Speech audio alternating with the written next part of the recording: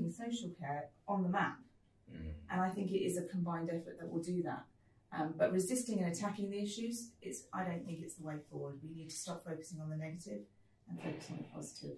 Tea with Tobi, tea with Tobi, tea with Tobi, tea with Tobi, tea with Tobi, tea with Tobi, tea with Tobi, tea with Tobi, tea with Tobi. Hi, I'm Cameron from Smooth Digital, and welcome to Tea with Tobi, the show where we ask and answer the questions playing in the minds of the care sector's business leaders. This week's episode is sponsored by EveryLife Technologies, and we'd like to thank Google for allowing us to use their podcasting studio. So, as always, let's kick off the show with a few words from our Marketing Strategy Director, Toby Ali Usman. Hi, now for those of you that are new to the show, here at Smooth Digital, our ultimate aim is to help care businesses maximize their ability to provide the very best care in their communities. Now, we understand there's a number of challenges you face when it comes to growth, but we want this to be the place where you can sit back, enjoy a cup of tea, and listen to a growth focused conversation. With that being said, we would like to welcome our guest, Anoushka Farouk. Welcome, Anoushka. Welcome. so, just before we start and get into the real meat of the podcast, could you maybe tell us a little bit about your background and area of expertise in the care sector? Sure. Thank you for having me, Tobi and Cameron. Uh, my name is Anoushka Farouk, and I'm from EveryLife Technologies, and we're the creators of PASS, which is a digital care management software, digital, digital care planning software. Mm-hmm. We'll come on to that, the differences shortly, hopefully. Um, and my role at EveryLife is um, a, I'm the director of market engagement, which means that we um, my role is to engage with the market as much as possible, and so um, where possible, try and understand our customers and, and inform our product growth and our product development, um, and also um, help to understand what the issues might be out there in the sector as well, and, and again, so that we can be better equipped to help solve some of those problems. Brilliant. Well, I'm looking forward to it. So, without further ado, Tobi, let's take it away and let's jump straight into in. it. So, the question I've got for you is: there are a number of owners out there who probably want to take the jump from a rostering system to a care management system. Now, I've been to the events. There's so many different providers out there. The question I've got for you is how can we make this less confusing and what sort of questions should these owners be asking when they're looking for care management software? So firstly, let's just be clear on the word care management software, as I had a little bit of a stumble there at the beginning. Care management software encompasses quite a broad spectrum of, of software solutions. You've got your rostering systems, which often are classed as care management software, as well as your digital care planning solutions. So some um, the misconception is that, that people have gone digital or they've done what they need to do because they have a rostering system in place, but that's actually a very important part of the journey, but only part of the journey. So the rostering system is the piece of work, uh, the piece of software that um, logistically manages your staff, gets your staff to and from their shift or their visit, um, and manages the HR and the invoicing. But what happens after they arrive is how is what a digital care planning solution will will look at and will, will record and monitor what happens at the visit and ultimately look at the quality of care being delivered. Brilliant. So what is what what does happen next? What does happen next? So um, yeah, and and to, to answer your initial question, you know, what do we do with all of these different choices, and how do we choose? So firstly, to, to know the difference between the two is, is yeah. the first step. Um, but also, I do think it's really important to know that there are loads of flavours of digital care planning and rostering out there for a reason, because care isn't a one size fits all, and we have so many different varieties of care settings, um, and not all care planning solutions are going to work for everyone, and also rostering solutions are going to work for everyone. So it is really we are very we are very fortunate that we have so much to choose from. So care managers ought to just take advantage of the vast choice that we have. Um, and start asking the right questions. If you're ready to make that leap, start asking the, the possible um, software providers the right questions. Make sure that you trust that they're resilient, robust, piece of software, I mean, the last thing you need is for something to your system to, to break down or to, to fail on you. Um, it's knowing that it's going to give you the types of reporting that you require as a manager, the types of alerting that you, you want as a manager, um, the type of ease of use that you want for your care workers. It needs to be something that the entire business can get along with and partner with harmoniously rather than it being an additional piece of work or added stress in any way, because that's actually counterproductive. Mm. So you just mentioned there um, care managers, care workers.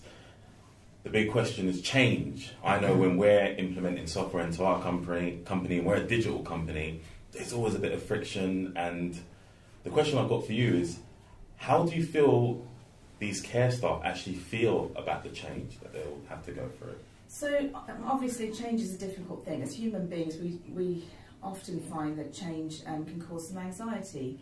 And I think um, it's really important that we don't lose sight of why we're doing this. It's not to create additional work. Um, and I think one of the questions you should be asking your software provider is that, about that change management piece and make sure that a good software provider will support that entire change management process from implementation through to go live and beyond that and have that ongoing support so that your staff don't feel as if they're, they're doing something new. It should be something that's actually assisting them to do what they do best and, and give them more time to do what they do best and free up time that they would normally be, be spending on admin.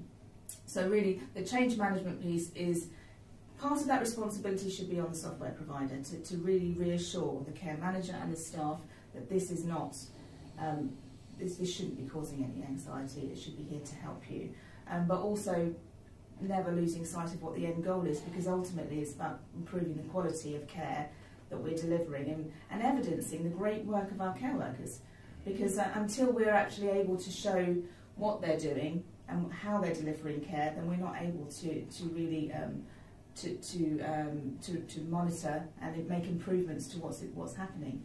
Um, and everybody's always concerned with, proving to the regulator that they're doing a good job. And this is really the way to do that because you can more efficiently, more effectively, um, and more sophisticatedly show the information um, about what's happening on a care visit or within a care home. So, taking a step back as well, as a sector, I feel there's a lot of change. We're, we're in changing times. As a sector, how do you feel we can sort of encourage change moving forward? So, I mean, technology is one of those, and as I said before, um, the, the, CQC in particular have really made some, some strong efforts to move towards change, and I think it's important to recognise that they are promoting that change. And obviously, it is really evidencing it's that piece of work is being for them to be able to see that we can aggregate lots of data and show reports and, and, and provide a greater level of transparency that is, is important for us to move forwards because we can't move forwards unless we see where we're at. And, and so data is important for that.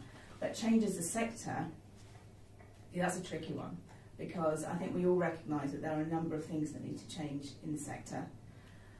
That the issue is that we, I think, um, and I'll be careful how I put this, but I think that if we're constantly attacking or resisting the issues, then we're not actually moving forwards and, and you know a number of years have gone by and we're still talking about some of the same issues.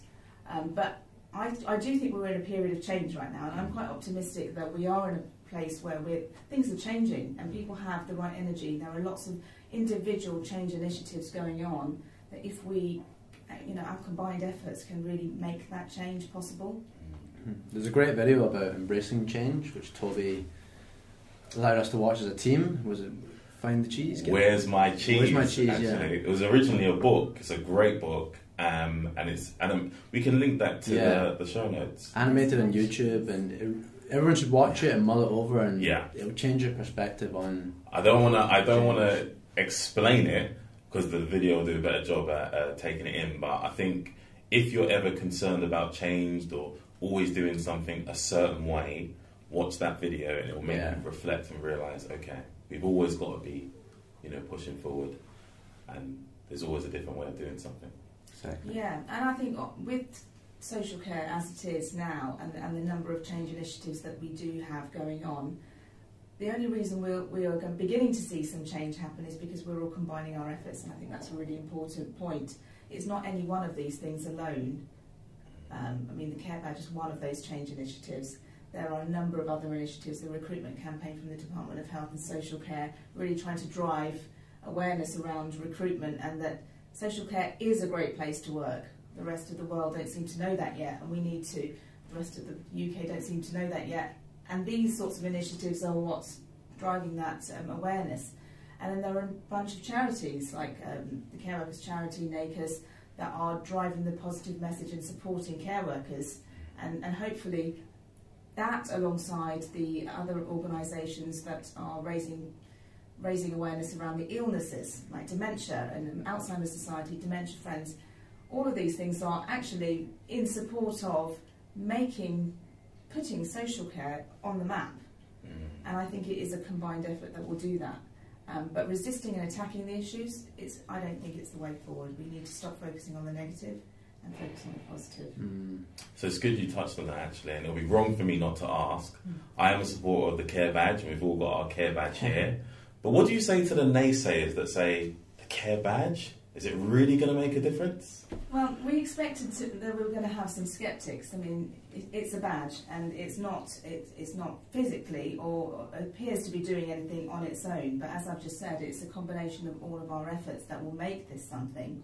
And I'm really pleased to say that almost um, no, just a, almost a year in, and we have almost 100,000 badges in circulation. So those naysayers are a minority, and, Mm. and I'm really pleased to say that because actually it's it's that resisting and attacking again that's not really pushing us forwards. But if we're shoulder to shoulder, you know, wearing our care badges, supporting care, having pride in what we do, and then there's national recruitment campaigns going on to show that it's a great place to work, and we've got um, other great organisations lobbying and rallying towards um, a better, stronger voice for care in the political arenas, etc. It's, it's all of that, that, that whole combined effort that will actually push towards these boundaries. But it's only together that we can actually break through them. And it's, I, I agree. I think it's unity as well. I remember when I was on a, a train from Liverpool Street uh, on the way home, and I saw someone wearing a care badge. Mine wasn't visible at the time, but I kind of felt like, do I go up and talk to them, or? Um, but it's kind of like there's a badge, there's the NHS logo, and now there's the care badge that people can recognise and feel feel together as well. Definitely. It's lovely to hear that because I think, you know, just not even a year in and the care badge, it's got an identity. and The care sector has an identity with this badge and I think that it will just continue to grow. We just need to keep doing what we're doing and that means every single organisation that's working towards change, we all need to be doing this to support one another um, rather than highlighting the issues around care. Obviously the issues still need to be, we need to be aware of them, but actually leaning towards them is the only way we push past those bar- barriers. Brilliant. So, if anyone wants to reach out to you from a care badge perspective or um, EveryLife Technologies perspective, what's the best way that they can reach out to you? LinkedIn, Twitter, um, the EveryLife Technologies website, you can email me through there and contact us page. Um, um, and at every, well, pretty much all the events that we are going at the moment, we're, we're out and about. As I say, my role is um, market engagement, and one of the things that we like to do as a business is be out there speaking to you because it's important for um, us to be engaging with the, the, the care sector so that we understand what the issues are, so that we can build that into our product, um, and it informs the, the whole of our business, and we feel as though we're more connected. If we're more connected to you, we're more connected to, to doing the right things for our product and for our business. Yeah. She'll be out there. Good. So well, we'll put all those links into the show notes anyway, so everyone can find them nicely set out. I think that's everything for today. So thank you very much, everyone, for watching, and we will see you in the next Tea with Tobi. See you next week.